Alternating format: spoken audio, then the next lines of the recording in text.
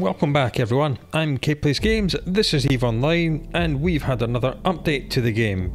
This one is really rather good, so I'm going to give you a bit of a guide to it. What we have been given is an extension to the tutorial system, which is called the Air Career Program. You can find this by going up to the Neocom menu, to Activities, and it's right at the top, Air Career Program. And this is what it looks like, you got a cool new UI. This is an extension to the career agents, split into four different careers. Industrialist, which I'm sure should be industrialist, maybe they'll fix that. This is still very new, it only came out last Tuesday, the 28th of June 2022. There's still some bugs and things wrong with it, but they're working on it. So we've got Industrialist, which is all your building and science. We've got Enforcer, which is essentially your player versus environment or PvE, you versus NPCs. We have Explorer, which is scanning, hacking and travel. And Soldier of Fortune, which is, I want to say PvP, but it's like player interactions, we'll call it. We'll do a deep dive into all four of these in just a moment. So what is the whole point of this? A, it's to give new players opportunities to do new things they might not have done before, which is very similar to the old opportunity system we had, but opportunity system never paid you anything and this does. And B, it's for older players to get free skill points, because as we see there is a bar down here which has different skill points marked in it. There are actually four rewards, again this is a, a broken part of it, there should be a fourth one at the end, which is 125,000 skill points. If I mouse over the bar, we'll see that if you collect 750 career points, this is split between all four of these careers, 750 in total. Like you had 200 in this, 300 in this, and then make up the rest with the other two. As soon as you get 750 career points, you're rewarded with 50,000 skill points. When you get 1500 career points, you get another 75,000 skill points. This is additive, so it's not like you get 50,000 and then another 25 to take you up to the 75. You get 50,000 and you get 75,000.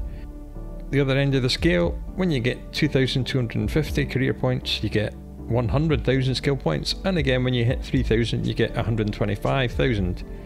Add all these together and you get 350,000 skill points, which is pretty damn good. And in addition to that, if and when you get 750 career points in a single career, you get an extra 100,000 skill points. So 100,000 times 4 is 400,000 plus the 350,000 you get from this. That's a grand total of 750,000 free skill points just by doing basic tasks. Now, even for older players, that equates to around two weeks worth of training, which is pretty damn good. For a brand new alpha clone character with no implants, this will be about six weeks worth of training, which is quite a large amount. On the left, this tells you which rewards you've earned so far and which ones you have to claim. They will go down here into the redeem system when you start doing this, you will find you will get dozens and dozens and dozens of rewards and you won't even know what you've done to get them.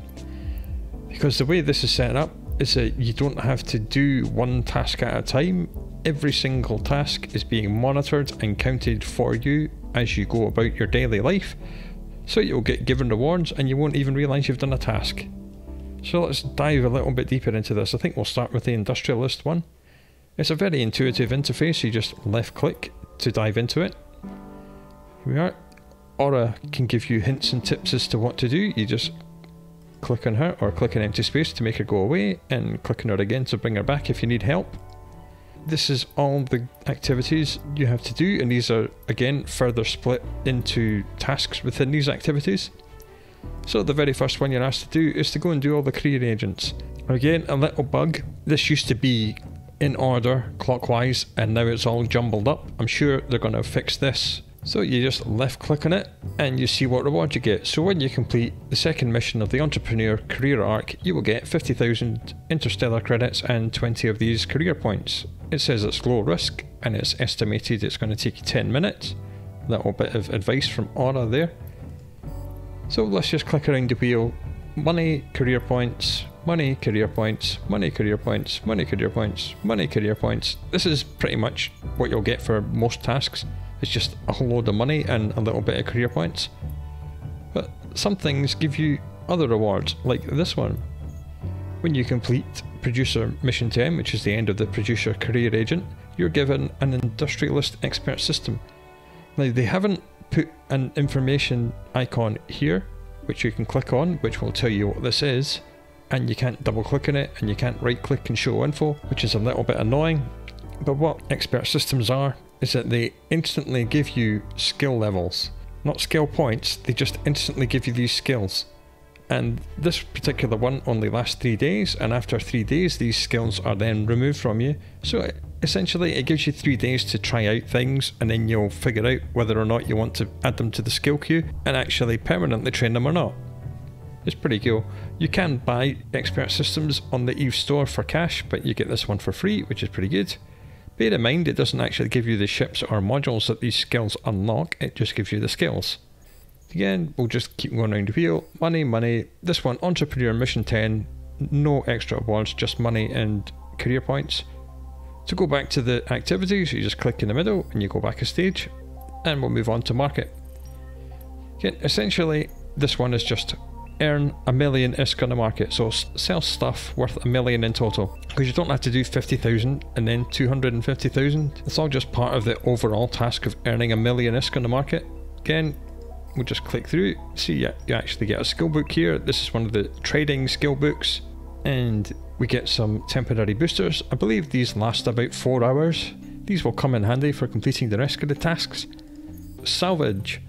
This is essentially salvage 50 wrecks. That's easy enough to do. You get some security missions, you kill everything, you come back with a ship fitted with nothing but salvagers, and you salvage them all. This does not take long. Not long at all. And there's a skill book there for rigging. Resource harvesting. This one's quite interesting actually.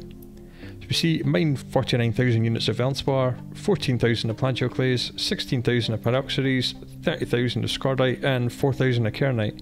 Now, this might look like quite a lot. I mean, 49,000 sounds quite a lot, but when you actually look at the volume of the ores, because every ore in the game does have a different volume, you will find out that each of these totals comes in at just under 5,000 cubic meters, which is great because the Venture mining frigate has a mining hold which holds 5,000. So you fly out to an asteroid belt, you mine Veldspar till you're full, you come back, and that's it, done. And then you go back out and you mine plagioclase, and that's done. And the same with pyroxeres and scordite. Now, Veldspar and scordite can be found anywhere in HiSec. Pyroxeres and plagioclase are also both HiSec, but they're not both found in the same places, as we shall see here, or locations. You only get Pyroxeres in Amarr and Caldari empires, and you only get Plagioclase in Gallente and Minmatar empires, so that's quite easy. All you'll have to do then is just fly across the border, hit up either Pyroxeres or Plagioclase, fill yourself up once and come back. Now, Kernite can be a little bit more difficult to find. As we see here, it's only found in Losec in Amarr, Gallente and Minmatar space. But, luckily for us, during the career missions, there is one mission which has about five or six thousand units of Kernite in it, so you can do it during that mission. Just make sure you actually mine out the whole mission, because I do believe that mission doesn't actually want you to mine the Kernite. I think you only kill a couple of NPCs and then come back. So if you knew about this before you did the career agent mission, then you would remember to mine the 4000 units of Kernite. So you can do this in HiSec as well. And the next one is refining, which is just literally reprocess all the stuff you just mined. Very, very easy.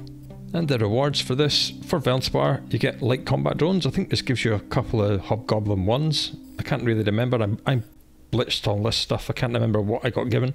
There's an afterburner. There's a medium shield extender. So, what, what ship do we know that has a compact afterburner, a medium shield extender, and a couple of combat drones?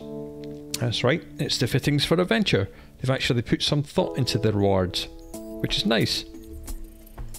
And what do we get for refining? Here we are, we get a frigate blueprint crate, which will give you a random blueprint copy I think it's only one run for a frigate, and this one gives you one for a cruiser. This one gives you one for a destroyer, which is pretty cool. This one doesn't give you anything, and neither does the Kernite.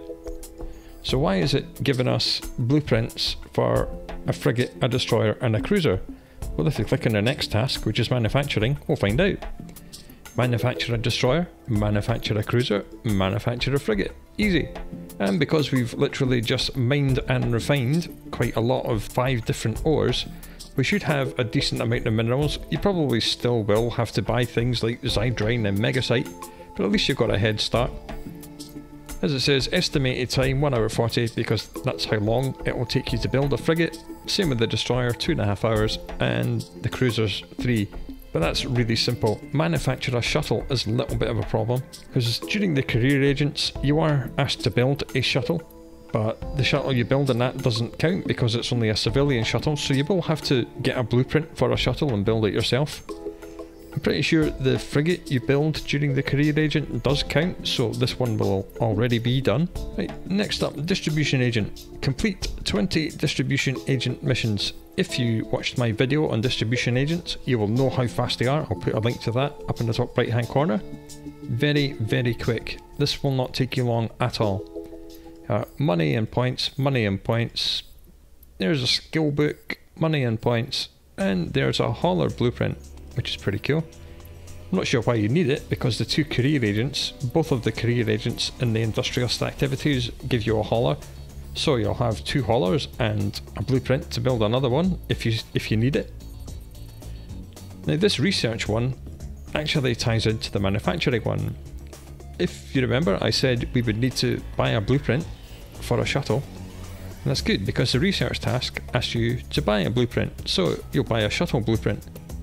And if we have a look, type in shuttle on the market and search. Shuttle blueprints are only 50,000 ISK, and by now you should have earned way more than that from the air rewards. But there's one available in this station right now. Easy peasy. And then I would suggest the first thing you do is that you make one copy. And then when that copy is made, you use the copy to start the manufacturing job, and then you use the blueprint original to do these two tasks, which is research it to 1% material efficiency and 2% time efficiency.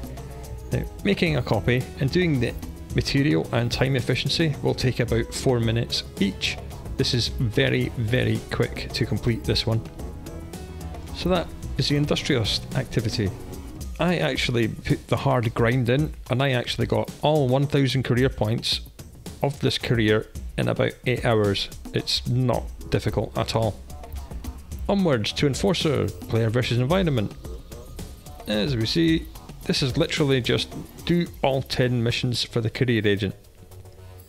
And it will give you money and career points. Anything for mission 10? Yeah, more expert systems. So that'll be more skills for 3 days, which is pretty good. Security agent, complete 20 level 1 security agent missions. This might take you a day day and a half, depending what ship you're using and how fast you get and which missions you get. Some are more difficult than others. As we see, we get a social book for this, and during that, you get another social book. So and another social book there. So you are being given skill books, which is really nice. The next one, Abyssal Dead Space. This can take quite some time. First task is enter a tier 0 Abyssal Dead Space combat site. Well, that's easy. And the next one is complete a tier 0 Abyssal Dead Space combat site. As we see, you're given Filaments Crate, which gives you more filaments to get into the Abyssal Dead Space. Tier 0 are called Tranquil, so if we look for Tranquil on the market, here are the filaments. Now these are not seeded by NPCs, these are players setting these prices, so you may have to shop around, but they're not all that expensive and you will find other filaments inside the abyssal dungeons themselves. And the overall aim of this is to complete 5 tier 0. This one at the top, kill 30 Triglavian enemies. This took me quite some time because the enemies in Abyssal Dead Space are randomised and I got a lot of pirates, a lot of Edencom, a lot of rogue drones and very very few Triglavian enemies. I had to run a lot of Abyssal Dead Space sites to get these 30 kills but I did do it and it wasn't difficult. Again, I have done Abyssal Dead Space on this channel before, and I did it in an alpha character in a Tech 1 fitted cruiser, and I'll put a link to that in the top right hand corner of your screen now. and I'll show you the fit I used to do this. This is the fit I used. It would still work with Tech 1 weapons, the Tech 2 just give you slightly more DPS, but it is all alpha. This is all alpha gear. Alphas can train all this Tech 2 stuff. Tier 0 Tranquil Filaments are extremely easy. I never ever had to, to use the medium ancillary armor repairer. Never used it at all, so you don't even need that. So that was the Abyssal Dead Space one. Next on to combat. This is pretty easy. Destroy 300 enemy ships. That sounds like a lot, but you will be surprised how quickly you get this one. Run a few combat anomalies, run some combat missions, you'll easily hit this. Again, you get more boosters. I'm not quite sure what the Rapture booster does. Let me see if I can look it up. Yeah, that gives you faster capacitor recharge time for 4 hours. Not a biggie. You've got acceleration control, there's another skill book there. And there's a destroyer skill crate, so you'll get a random skill book for a random race's destroyer. It's not always your race, it's random. Bounties, this again is easy. Earn 5 million ISK in bounties. Again, just run lots of missions and you'll very quickly rack this up. Very simple. Frigate skill crate, frigate crate. This actually gives you a frigate, not a skill book, not a skin, not a blueprint, an actual frigate. So that's quite nice. Combat sites complete 25 combat sites. Now this is not combat anomalies, it does mean the sites that you have to scan down and enter. Not that difficult to do. Again, if you watch my exploration videos, which I'll put an example of in the top right hand corner of your screen now, you'll see how easy it is to scan things down and to run these sites in high security spaces. Very, very easy. As soon as you do five of them, you get a shield booster. Then when you do 25, you get 100 millimeter armor plate, which is quite useless actually, but there we are. This is the one I haven't done because I, I'm waiting for my timer to run out. You can redo an epic arc every 90 days and I'm about 4 or 5 days away from my next run. And this does, does specify it has to be the Bloodstained Stars, which is the Sisters of Eve rookie epic arc. You can't do this by doing any of the level 3 or level 4 epic arcs, it has to be the Bloodstained Stars. There are 50 missions or 54 missions in total in this arc. You get a random defense system skill crate, so it'll either be shield or armor. If you have really good skills and a really good ship, you can complete the entire Sisters of Eve epic arc in about two and a half hours. If you're new, it'll take you a couple of days. Market. Easy. Spend the 1 million ISK on the market in total. Well, that's easy, just buy some blueprints and modules and ammo. You will do this without even thinking about it. Get another frigate, which is nice. Standings. As you're doing all these missions, you'll easily get this. Increase your standings with a corporation to 1.0. You can use skills to do this or you can just grind missions. Very, very quick to do this. Very quick indeed. And more skill books, money and career points. Loyalty points. Earn 500 loyalty points. Loyalty points are something else you get as you do missions so you'll rack these up without even thinking about them. And then I want you to spend 300 loyalty points. Very easy to do. So that's all your PvE activities. I haven't quite got a thousand. I've got everything but the Epic Arc and that will be fixed in a few days. Explorer.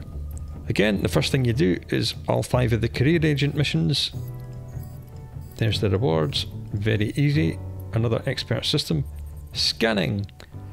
Scan 50 cosmic signatures to 100%. Very easy. You don't even have to enter the sites. All you have to do is to scan them. Very, very easy. Again, more points. You get a frigate skill crate. Again, that will be a random frigate. And you get an actual frigate.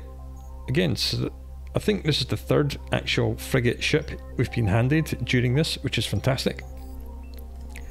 Hacking. Again, hacking is very easy. You will have done hacking in the career agent, so you'll know how to do it. Again, you just scan some relic or data sites, go in, hack the cans, grab the loot, get the points.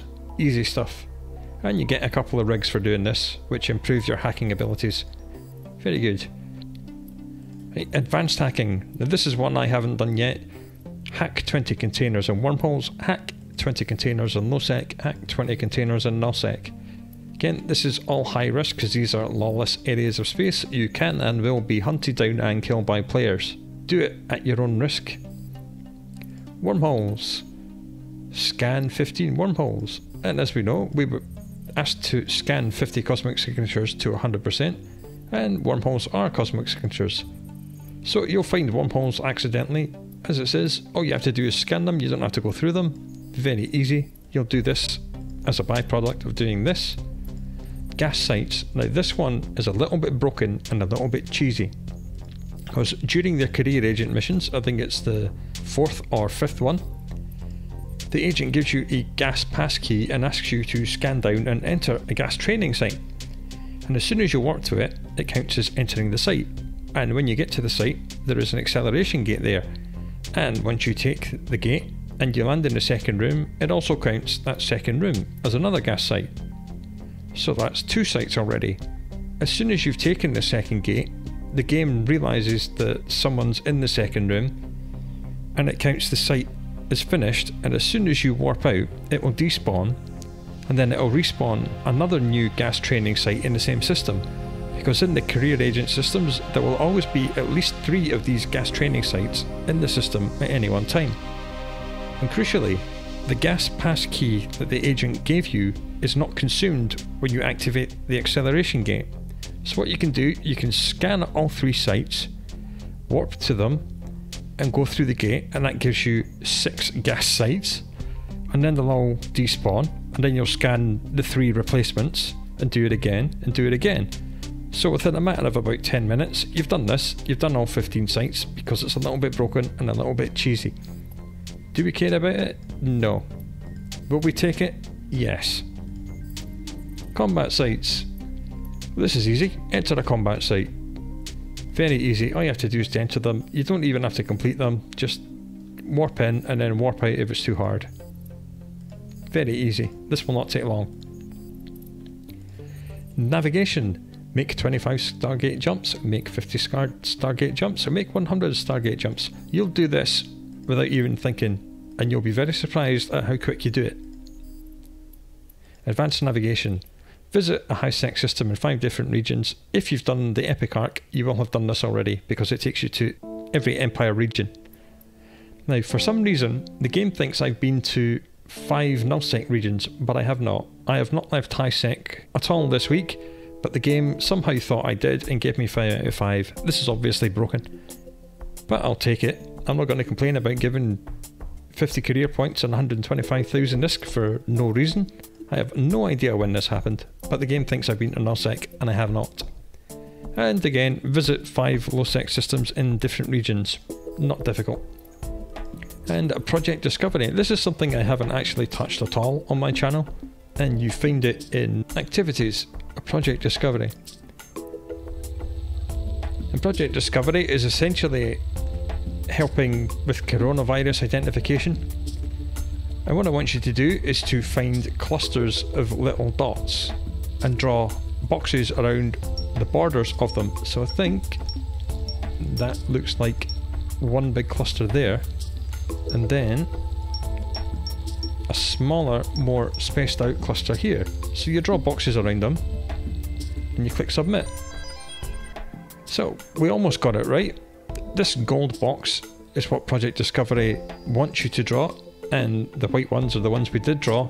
So apparently we should have just reduced this one a little bit and gone up there.